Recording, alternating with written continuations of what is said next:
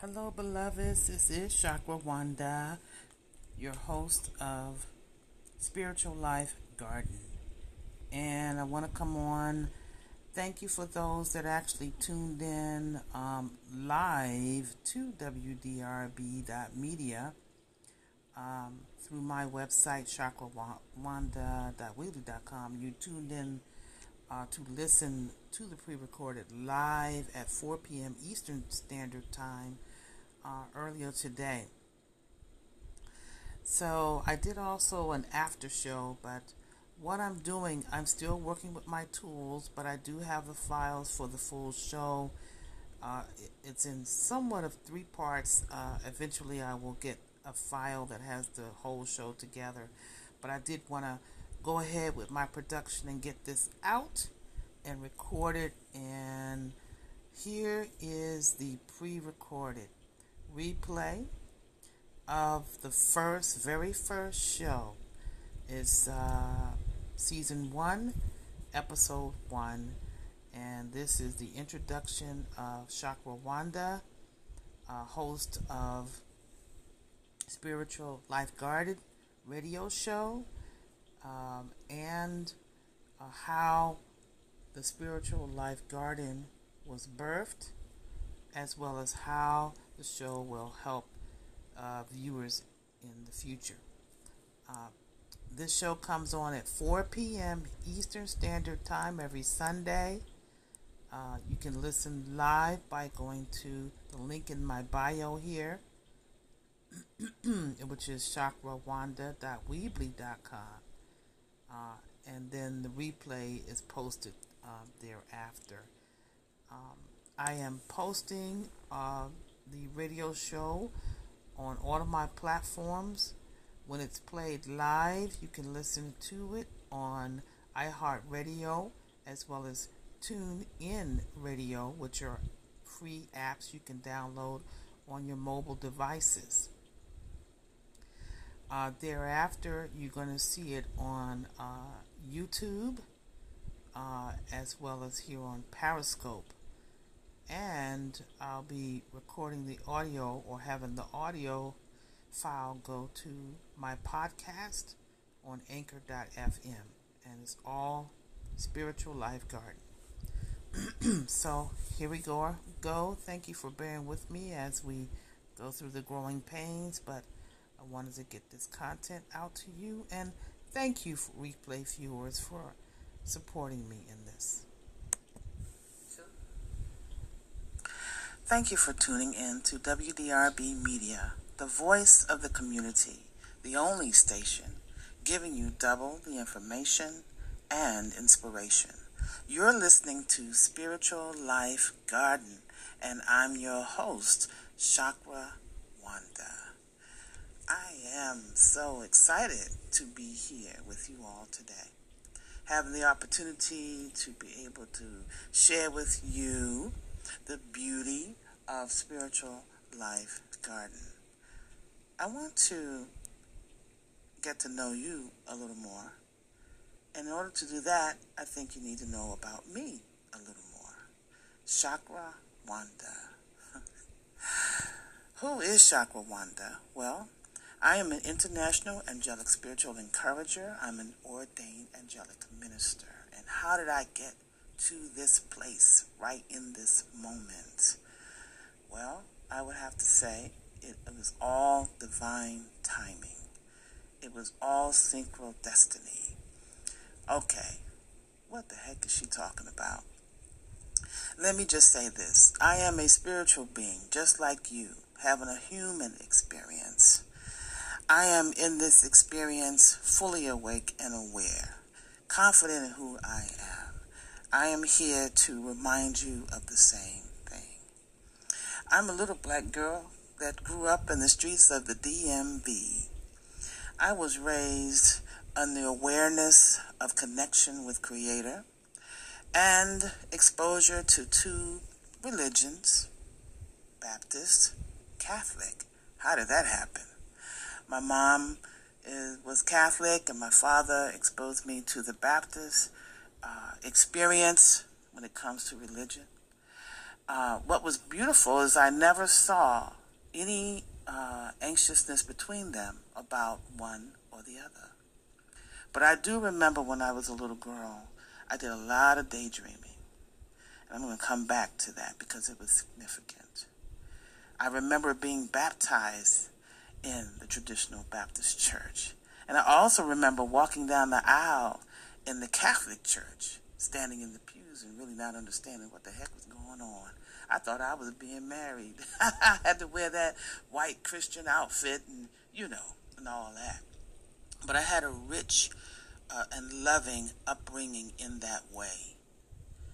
And then coming into my teens, didn't get into any spirituality or following any one of those paths. Did my own thing until I started having children, you know, and then moved back into that comfort zone as I saw it. Raised my kids in that Baptist experience. But there was something that was whispering within me. And that was, what is this really, what's really, really going on? what's really going on? And one day I was in the bookstore and I saw a book. It was titled As a Man Thinketh. That little book was not too thick, but you know, as I began to read it, it talked about it talked about thought, it talked about mind, it talked about what we think about, you bring about in your life experience. I really couldn't get my head around any of it, but I kept that book for about 10 years in my purse. Then one day, uh, I transitioned from the DMV area. I jumped the corporate ship. I felt a calling to come into a different arena. I came into the holistic arena, healing. I, I quit almost 24 years of corporate America and came into massage and healing work. I'd experienced seeing the Pentagon when 9 11 happened. I experienced two weeks before that uh, layoffs, major layoffs at the job. I experienced major life changes in that way that made me begin to think, what the heck am I doing here? You know? Next thing you know, I'm answering, I'm listening to this this call about doing work that that involved adding value to other people. So I said, what does that mean?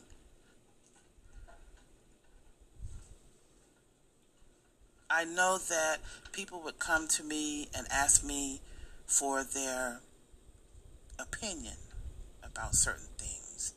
And I noticed that I had a desire to actually reach out and I wanted to actually touch people, you know, to make them, to help them to feel better. So a coworker and myself began to ask these questions about what would you rather do you know, instead of this nine to five workaholic environment, what really calls on you? And we each began to do what I call now, we became vision partners, dream partners. We sat and we listened to each other's dreams and visions, and there were three three careers that came up. One was massage therapy, and then there was two others. We decided to meet once a week. And we decided to talk about what was really calling on our heart to do. And then we began to research those fields. And I began to research the field of massage therapy. Began to write it down, to began to feel and be in the vision and research and connect with others who were actually working in that little did I know I was using innately tools that have to do with visioning and manifesting and intention. Then I would envision that I would drive. It took me 90 minutes one way, maybe an hour one way each time I would get on the highway back in the DMV. I would envision that I'm going to a place where people are excited to see me and that when they left, they felt better. Years later, I relocated out of the DMV area, coming here to the Charlotte area. As I was unpacking, I unpacked that folder that had all those notes and all those ideas. And the next thing you know, I'm looking for a massage school, and it happened to be right around the corner from where I work. Next thing you know, I'm looking at my 401k. I'm trying to figure out how I can make this happen. I'm listening to teleconferences with coworkers talking about how stressed they were. I'm trying to get up out of here. Next thing you know, that was it. I said, I'm done. There was no formal plan, but I realized later the plan was really laid out for me. I quit. I jumped the corporate ship. I didn't look back. Was I scared? Oh, yes. Oops. yep. I didn't look back. I had two children to raise. I cashed in the 401k. Was that a smart thing to do? I'm still here. That was in 2003. This is 2019. Up until six years ago, I had a successful career as a holistic healer. I learned many things about myself. I experienced the satisfaction of providing healing work. I learned many modalities because that was just the avenue. What you have to know is that where you are right now, sometimes that's just the door to a bigger thing. Along the way, yes, if I stay with the nine to five versus out there doing my own thing in my private practice and working for massage centers, still the same level of stress. You know, you had the gas crisis on, still the same level of stress. If if I wanted to, you know, get another job in the nine to five, if I wanted to um, get a promotion, I still had to use the same energy to get promoted as I would to build my own business. I had a beautiful experience. So now I'm semi retired in that arena. Because there's a time sometimes where you can stay in a thing too long. Massage and healing work in the physical ways can be very taxing. But I learned about energy healing. And while I was in that arena is when I would say my awakening and complete awareness of who I am as a spiritual being happened. I would go into a room. I learned the technical way of how to not hurt someone doing massage and body work. But while I was in school, I often heard as I was listening and training about anatomy, physiology, kinesiology, and all of that, I heard Spirit speak to me about how beautiful we are wonderfully and fearfully made, how we're made, the, the, the physical essence. But anytime I would prepare to do body work on someone, as soon as they would come into the room and approach me, I'm already having a different conversation. They're filling out their intake, but I'm asking the question what is it I need to know about this individual? How should I move and how should I touch and how should I work with them? Next thing you know, I'm setting intention. When I touch them, I'm saying peace. I'm saying clarity. I'm saying healing. And there were many times when the client would literally say, I felt, I felt peace. I felt clarity. Were you praying for me? Were you were you speaking while she said they would say I could feel that. And that's when I recognized some other things were going on. I recognized that I had divine assistance. Instead of um, thinking instead of looking at a schedule ahead of time when I had to go to the massage center or even my own practice, instead of looking ahead to see how many I had, how many appointments I had, whether I was going to get paid, I would do a meditation and I would envision before I would go to work that if I had five people on my schedule, if my slots were five people, I would envision that I was already in the healing room and that the individuals were already there. And when I would do that visioning, I would also see and sense something else. I would see and sense divine helpers coming into that space behind each of those clients before I got up and moved out of my day, I learned how to set the intention, and most times my schedule was full. Those are the things that kind of help me grow as a divine flower in this universe. I want to bring it now to where the concept of spiritual life garden came from. There was a poem that I wrote back in 2002. And that poem, I'm not going to say the whole thing, but I will say the first um, stanza of it. And the reason why I wrote the poem, because I was in that contemplation asking Spirit. I was asking Spirit, what am I here to do? You know, I was in the nine to five, I was raising kids, I was paying bills, I was in that cycle like many people are in where you're just, it's almost like a hamster. It's almost like you're in a hamster wheel and you're just like, okay, it's got to be more to this. Yes, I love my kids. Yes, you love the work, but sometimes you just, you're just in that level. So I'm writing and I'm asking what it is that I'm here to do. And I was, wrote this first poem. It's called A Beautiful Garden. And it came this way You are a beautiful garden birthed from a seed planted by God, full of new beginnings, waiting patiently to stir up the sod. You are a beautiful garden where weeds may sometimes hide. But glory to Spirit for his powerful word, weeds have no place to reside. You are a beautiful garden, watered by God's love, pruned by his loving kindness, protected by his Son above. You are a beautiful garden, living each day with joy, sprouting your roots so deeply, searching for the river that flows. The river that flows, the river you search for is spirit. Always letting you know that you are a beautiful garden. So let live your life and grow. And so what I recognize is that we are each beautiful gardens and that within you, you come into this planet encoded with dreams that actually start activating within you, causing you to move into different spaces. We are designed to evolve. If you look at nature around you, do we not have the seasons that change? But we are equipped with mind. We are supposed to be the supreme as, uh, beings here on the planet. Look at nature nature has its natural way. If you see ducks or birds, why is it that they're always in formation? There's, some, there's one that's ahead, but everything else follows in balance. This is where we can sometimes get lost because we're not following our innate flow.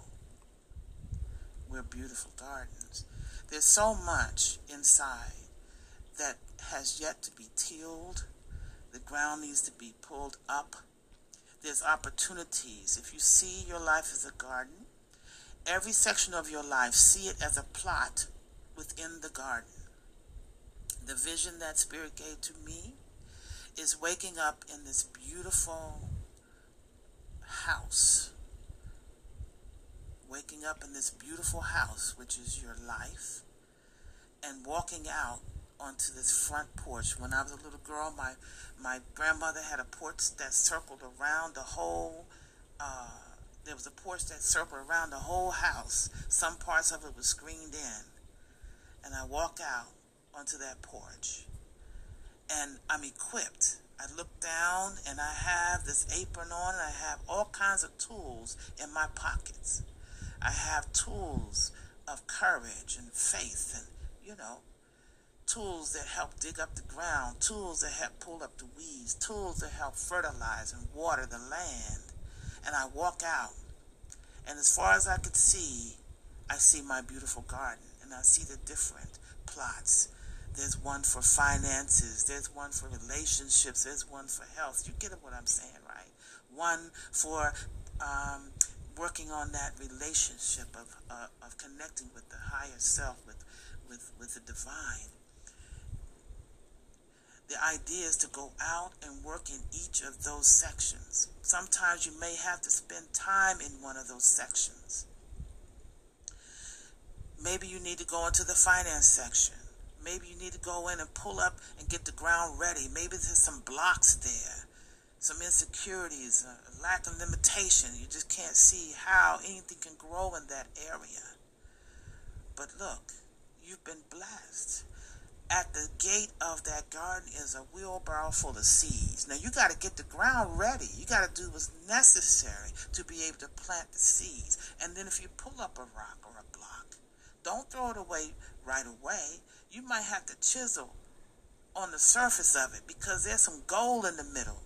The stuff that you go through means that there's gold right there in the middle of it. So that's the concept. That's the vision, and that's the idea. Me as Chakra Wanda. The word chakra, it's a Sanskrit word. It's uh, some of you may have uh, heard the term, maybe you haven't. But uh, a chakra is uh, our, our, energy centers. Uh, energy centers. Um, you've heard the word crown. So at the top of the head, you have your crown center. You have your third eye coming down to the throat. You have the heart center you have the solar plexus, you have the sacral, and then you have the root. The seven chakras, seven layers of who you are. I hope to teach you more about that. You also have your auric fields. It's very important to understand your etheric field. The etheric field, which is closest to the body. There's a spiritual level, there's a Okay. So, yes, guys, I'm still learning my technology. We're going to go and continue with part two. Thank Mental you. level. Here's the deal understanding your energy field and your chakra centers, they impact your actual organs in the body, your emotions, and the, the, any any kind of disease or disorder that manifests in your physical body actually shows up in your energy fields before it manifests. Also, look at the outpicturing of what's going on in your life. The people that are attached to. A manifestation of what you've actually brought in or maybe has been attached to you. There's so much that I'm looking forward to sharing with you about ourselves as spiritual life gardens. There's so much that I want to just make you aware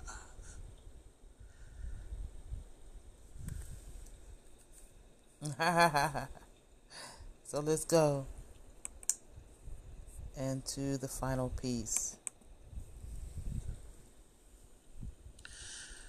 So, beloved, let's just take a deep breath here.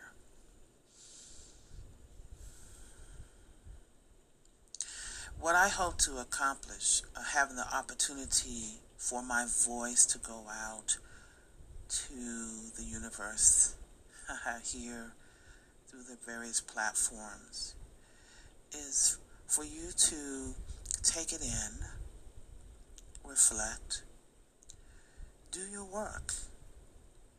Prayerfully, the information that I share can be the beginning of a seed planted within you. I want to share a writing, and I will be sharing my writings over time. I posted this on my Instagram at Spiritual Life Garden. So this is for you. There's fruit in your life garden that's overdue to be picked from the vine of procrastination.